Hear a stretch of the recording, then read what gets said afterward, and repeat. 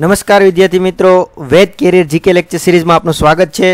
મિત્રો આજે આપણે ગુજરાતી વ્યાકરણમાં અલંકાર જોવાના છીએ અને આ લ- અલંકારનો લેક્ચર એક જોવાના છીએ લેક્ચર એક શરૂઆત કરતાં પહેલાં જો હજી સુધી તમે અમારી ચેનલ સબસ્ક્રાઇબ ના કરી હોય તો ત્યારે જ સબસ્ક્રાઇબ કરો અને બાજુમાં આવેલા બેલ આઇકોનને પ્રેસ કરો જેથી કરીને નવો વિડીયો અહીંથી અપલોડ કરીએ તો સૌપ્રથમ તમને નોટિફિકેશન દ્વારા માહિતી મળી રહે તો આજે આપણે શરૂઆત કરીએ અલંકાર પ્ર- લેક્ચર એક તો અલંકાર છે તો પહેલાં તો સૌપ્રથમ આપને વિચાર આવે કે ભાઈ અલંકાર એટલે શું તો સૌપ્રથમ ખાસ અલંકાર એટલે શું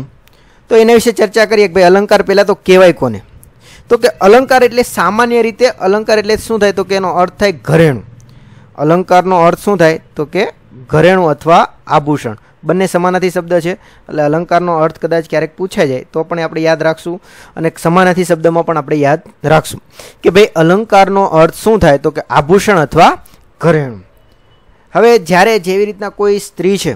એ જ્યારે ઘરેણાં પહેરે છે ત્યારે એના સૌંદર્યમાં વધારો થાય છે એટલે કે જે પહેલાં જેણે ઘરેણાં પહેરે નથી એ પહેલાં જે દેખાય છે એની કરતાં જ્યારે એ ઘરેણાં પહેરે છે ત્યારે એના રૂપમાં વધારો આવે છે અથવા સૌંદર્યમાં વધારો થાય છે એ જ રીતના કવિઓ છે એ આ જે સાહિત્ય છે આપણું સાહિત્ય કૃતિઓ છે એને સૌંદર્યથી શોભાવવા માટે અલંકાર રૂપી છે એ ઘરેણુંનું છે એ શું કરે છે કે ભાઈ પહેરાવે છે અલંકાર રૂપી ઘરેણા એને પહેરાવે છે એટલે કે ભાષાને સૌંદર્ય બનાવવા માટે છે અલંકાર રૂપી ઘરેણાનો ઉપયોગ થાય છે અલંકાર શબ્દ છે એ બે શબ્દનો બનેલો છે અથવા અલંકારની સંધિ કદાચ ક્યારેક પૂછાય તો પણ આપણે યાદ રાખવાની કે ભાઈ અલંકાર એ અલમ અથવા કાર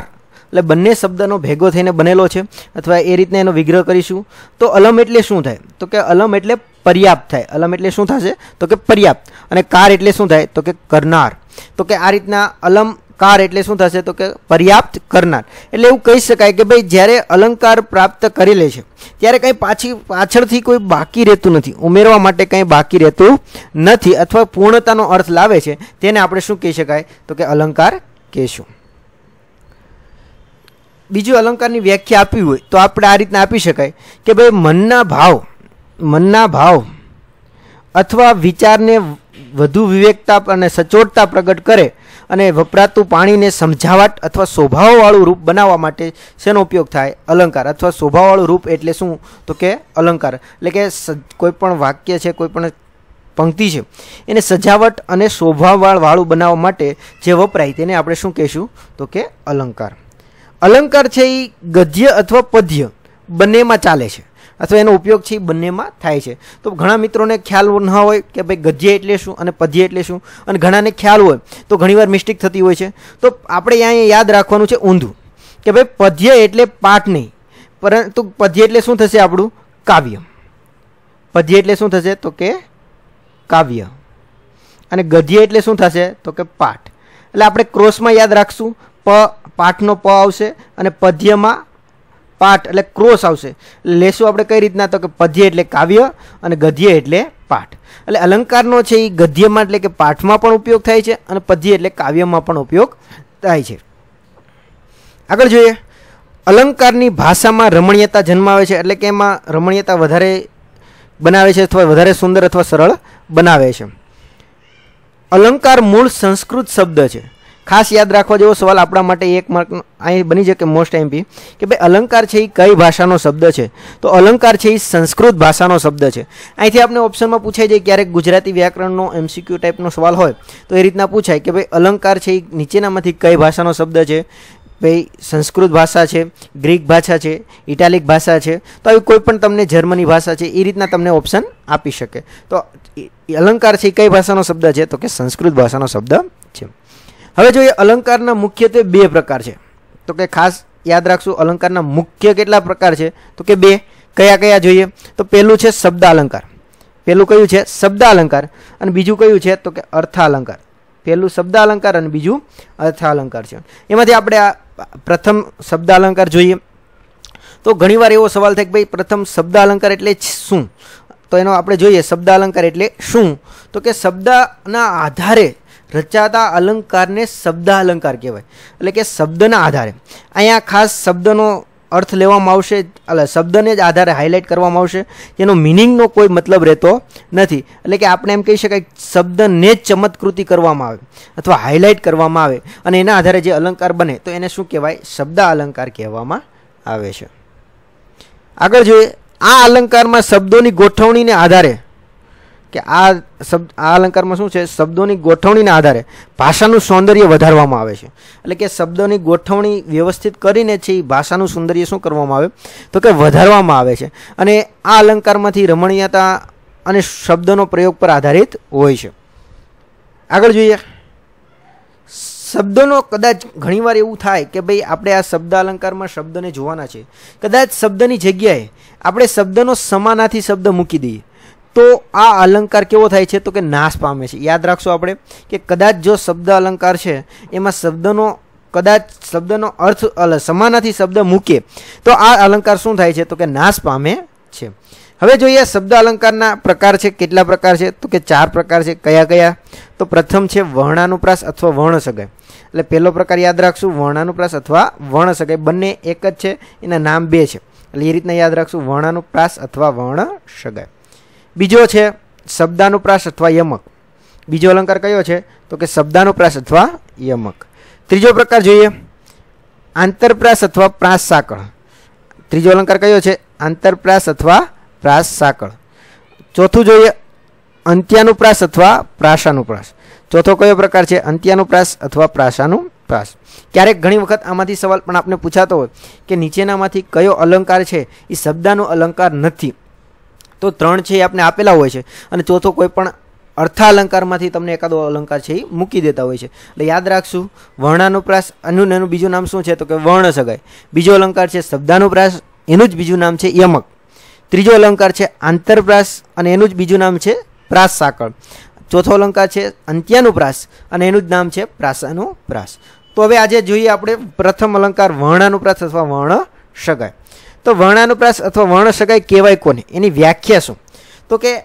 એક જ પંક્તિ કે વાક્યમાં એકનો એક વર્ણ વર્ણ અથવા એનો સમાનાથી શું થશે તો કે અક્ષર એટલે કે એકનો એક વર્ણ અથવા અક્ષર શબ્દની શરૂઆતમાં શબ્દની શરૂઆતમાં બે કે તેથી વધારે વાર વખત આવે ત્યારે જે અલંકાર બને તો એને શું કહેવાય વર્ણાનુપ્રાસ અથવા વર્ણ સગાઈ ફરીથી એક વખત રિપીટ કરીએ કે કોઈ એક પંક્તિ અથવા વાક્યમાં કોઈ એક પંક્તિ અથવા વાક્યમાં એકનો એક વર્ણ એટલે કે એકનો એક અક્ષર એ શબ્દની શરૂઆતમાં ખાસ યાદ રાખવા જેવું છે શબ્દની શરૂઆતમાં વચ્ચે ક્યાંય પણ કાઉન્ટ કરવામાં આવતો નથી અથવા ગણવામાં આવતો નથી એટલે કે શબ્દની શરૂઆતમાં ઓછામાં ઓછો બે વખત બે કે તેથી વધારે વખત એટલે કે ઓછામાં ઓછા બે વખત પણ વધારે હોય તો પણ ચાલે તો કે ઓછામાં ઓછો બે વખત બે કે તેથી વધારે વખત આવે અને જે અલંકાર બને ત્યારે એનો કયો અલંકાર બન કહેવાય તો કે વર્ણાનુપ્રાસ અથવા વર્ણ સગાઈ છે એ કહેવામાં આવે છે હવે એના એક્ઝામ્પલ જોઈએ અથવા ઉદાહરણ જોઈએ તો આપણે વધારે ખ્યાલ આવે પ્રથમ ઉદાહરણ છે કામિની કોકિલા કેલી કુંજન કરે હવે પહેલાં તો અહીંથી એક બીજો આપણા માટે એક સવાલ નીકળે છે કે ભાઈ કામિની કોકિલા કેલી કુંજન કરે તો કે આ કાવ્ય પંક્તિ છે એ કયા કવિની છે તો કે આ કાવ્ય પંક્તિ છે એ કવિ કાંતની છે હવે આમાં આપણે જે વ્યાખ્યા પ્રમાણે કીધું છે કે ભાઈ એક જ પંક્તિ અથવા વાક્યમાં એકનો એક વર્ણ તો આમાં આપણે ઘણીવાર ઘણા મિત્રોને ખ્યાલ આવી ગયો છે કે ભાઈ કામિની એટલે કે ક કોકિલા તો કે ક કેલી એટલે ક અને કુંજન તો કે આમાં કયો વર્ણ છે અથવા કયો અક્ષર છે એ બે કે બેથી વધારે વખત રિપીટ થાય છે તો કે કયો આવશે ક ક ક ક તો આમાં કયો આવશે કામિની કોકિલા કેલી કુંજન કરે હવે ઘણા મિત્રોએ છે એ આ કી એને પણ જોયું હશે કે ઘણા મિત્રો એમ થતું સર કે એ તો પણ આપેલો છે પરંતુ આપણી વ્યાખ્યા જુઓ વ્યાખ્યામાં શું આપેલું છે તો કે ભાઈ શબ્દની શરૂઆતમાં ખાસ યાદ રાખવા જેવું છે શું આપેલું છે શબ્દની શરૂઆતમાં એટલે કે આપણે અંત કે વચ્ચે ક્યાંય લેશું નહીં એટલે કે જો શબ્દની શરૂઆતમાં જો શબ્દ રિપીટ થતો અક્ષર આવતો હોય તો જ આપણે કાઉન્ટ કરશું એટલે આમાં આપણો કયો શબ્દ આવે છે અથવા કયો અક્ષર આવે છે તો કે ક ક ક આપણો અવાજ અક્ષર આવે છે તો આ રીતના કામિની કોકિલા કેલી કુંજન કરે તો આ કાવ્ય આ પંક્તિમાં આપણે છે એ કયો મળે છે ક ક ક ક બને છે અને આ રીતના આપણો વર્ણાનુપ્રાસ અથવા વર્ણ સગાઈ આપણો અલંકાર બને છે અને કદાચ આ પંક્તિ પૂછાય તો આ પંક્તિ કયા કવિની છે કવિ કાંતની છે વધારે એક્ઝામ્પલ જોઈએ જેથી કરીને આપણે ખ્યાલ આવી જાય તો કે ભાઈ કાળા કરમનો કાળો મોહન કાળું એનું નામ તો કે આમાં પણ ઘણા મિત્રોને ખ્યાલ આવી ગયો છે. તો કે કાળા કર્મ, તો કાળામાં કા, કરમમાં ક, કાળો, કા, મોહન અને કાળું એનું નામ. તો આમાં પણ કયો અક્ષર રિપીટ થાય છે? તો કયો વર્ણ છે રિપીટ થાય છે? તો કે ક છે એનો વર્ણ છે રિપીટ થાય છે. હવે ઘણા મિત્રોને પ્રશ્ન હશે કે સર, હવે આમાં આપણે પહેલાંમાં, પહેલાં શબ્દમાં કા આવેલો છે, બીજામાં ક આવેલો છે, ત્રીજામાં કા આવેલો છે ચોથામાં કા કા આવેલો છે. આ સિવાય સેમ આપણે પ્રથમ પંક્તિમાં જોયું, તો એમાં પણ એ રીતના જ હતું. તો કે ભાઈ પહેલામાં, પહેલા શબ્દમાં કામિનીમાં કા આવ્યો, કોકિલામાં કો આવ્યો, કેલીમાં કે આવ્યો, અને કુંજનમાં કુ આવ્યું. તો કે ભાઈ, અને કરેમાં ક આવ્યો. તો કે આ સર તમે એવું કીધું કે એકનો એક શબ્દ રિપીટ, એકનો એક અક્ષર રિપીટ થતો હોય. પરંતુ અહીંયા એક જ અક્ષર તો આવે છે, પરંતુ ઘણામાં કા છે ઘણામાં કો છે ઘણામાં કે છે કુ છે ક છે પણ મિત્રો અહીંયા યાદ રાખવાનું છે વર્ણ સગાઈમાં કઈ રીતના હોય છે કે ભાઈ એકનો એક વર્ણ એટલે પછી એની કોઈ પણ આખી બારક્ષરીની કોઈ પણ લાઈન હોઈ શકે ક હોય કા હોય કી હોય કુ હોય એ કોઈ પણ હોઈ શકે પરંતુ એકનો એક વર્ણ એટલે કે ક જ હોવો જોઈએ ક કા કી કુ કોઈ પણ હોઈ શકે એટલે આ રીતના આપણો વર્ણાનુપ્રાસ બનશે કોઈ પણ એકનો એક વર્ણ રિપીટ નહીં થાય ઘણી વખત ક પણ આવે કા પણ આવે, કુ પણ આવે, કો પણ આવે, કોઈ પણ આવી શકે. એટલે આપણે આ ક્લિયર રાખશું. ત્રીજું એક્ઝામ્પલ જોઈએ. વા ફરે, વાદળ ફરે ફરે નદીના પૂર. તો આમાં કયો શબ્દ રિપીટ થાય છે? અથવા કયો વર્ણ આવે છે? તો આપણે લઈ શકાય. તો કે વા ફરે એટલે કે વા, વાદળ ફરે. આપણે વાત કરેલી છે કે બે વાર, ઓછામાં ઓછા બે વાર. એનાથી વધારે પણ હોઈ શકે. તો બે શબ્દ બે અક્ષર છે એ રિપીટ થાય છે. એટલે આ રીતના આપણે લઈ શકાય વા ફરે, વાદળ ફરે ફરે નદીના પૂર તો પણ ઘણા મિત્રો એમ કહેતા ફરે ફરે તો પણ આપણે લઈ શકીએ તો આ રીતના આપણું વા ફરે વાદળ ફરેમાં એક્ઝામ્પલ આવશે આમાં શું આવશે રિપીટ થશે આપણો શબ્દ અક્ષર તો કયો આવશે તો કે વર્ષ અક્ષર છે આપણો રિપીટ થશે જે આપણે બાજુમાં લખી લઈએ વા આપણું રિપીટ થશે ચોથું એક્ઝામ્પલ જોઈએ કૃત વર્માએ કવચ કાપ્યું કૃત વર્માએ કવચ કાપ્યું તો એમાં કયું આવશે પહેલાં તો ક્રુ કૃત વર્મામાં શું આવશે ક્રુ કવચમાં ક અને કાપ્યુંમાં શું આવશે તો કે કા તો આ રીતના આમાં કયો વર્ણ બને છે અથવા કયો અક્ષર રિપીટ થાય છે તો કે કની લાઈન આખી એમાં કોઈ પણ આપણો હોઈ શકે પાંચમું એક્ઝામ્પલ જોઈએ સાગરે ભાસતી ભવ્ય ભારતી તો સાગરે ભાસતી ભવ્ય ભારતી તો એમાં કયો કયો આપણો વર્ણ રિપીટ થશે તો કે ભા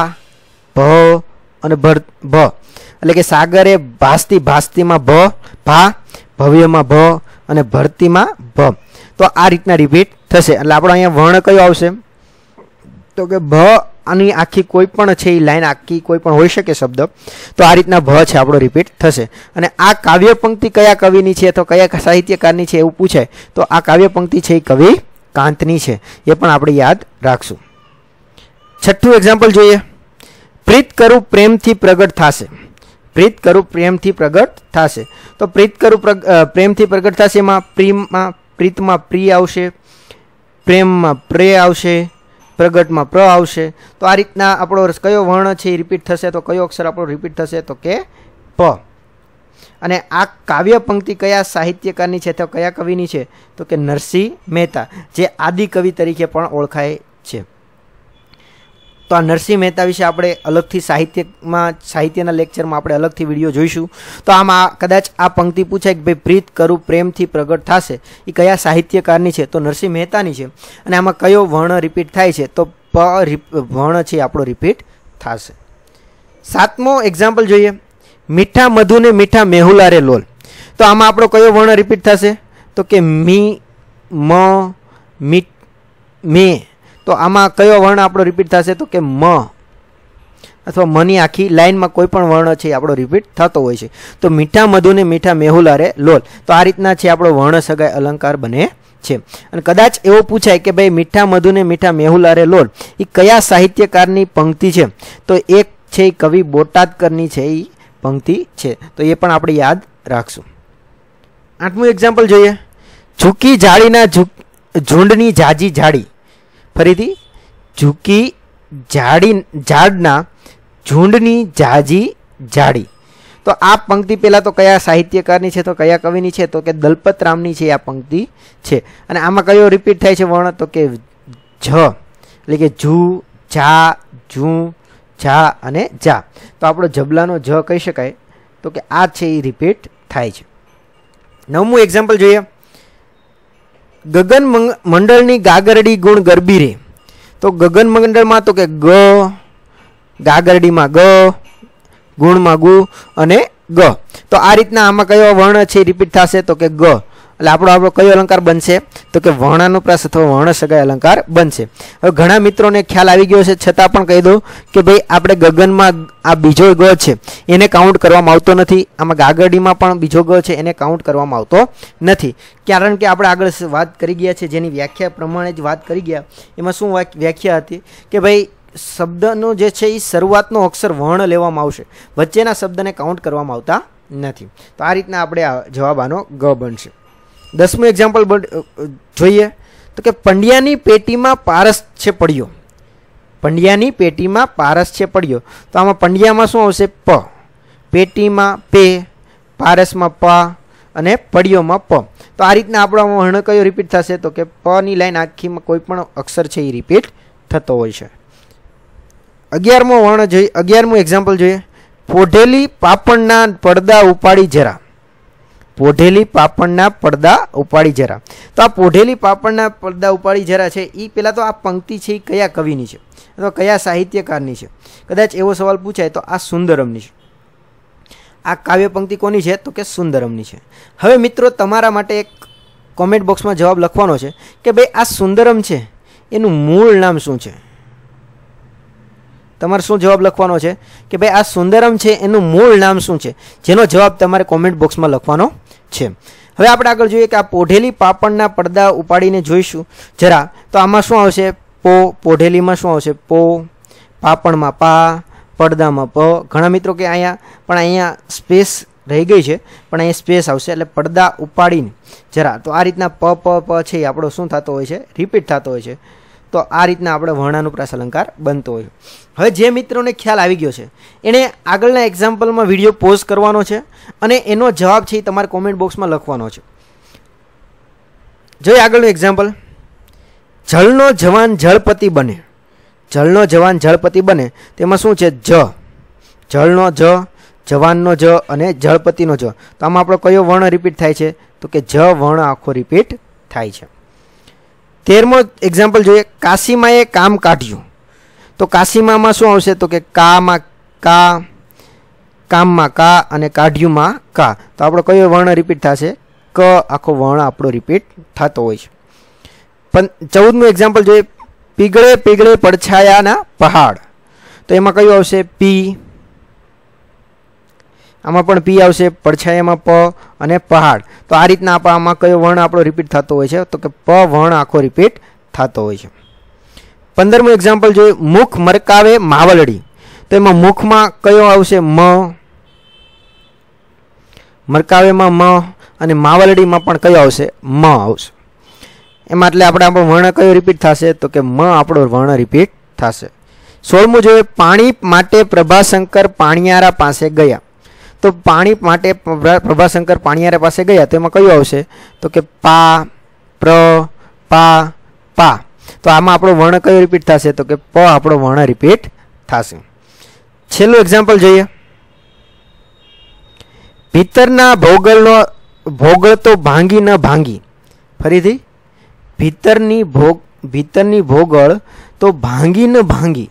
તો એમાં કયો આપણો રિપીટ થશે તો કે ભી આમાં ભો ભા અને ભા તો આમાં કયો આપણો વર્ણ રિપીટ થશે તો કે ભ આપણો વર્ણ રિપીટ થશે અને આ છે એ કાવ્ય છે એ કોની છે તો કે રાજેશ વેદની છે આ કાવ્ય પંક્તિ કયા કવિની છે તો કયા સાહિત્યકારની છે તો યાદ રાખશું રાજેશ વેદની છે જો મિત્રો તમને આ વર્ણાનુપ્રાસ અલંકાર છે એમાં ખ્યાલ આવી ગયો હોય તો તમારે અવશ્ય છે એ કોમેન્ટ બોક્સમાં થમ્સઅપનું બટન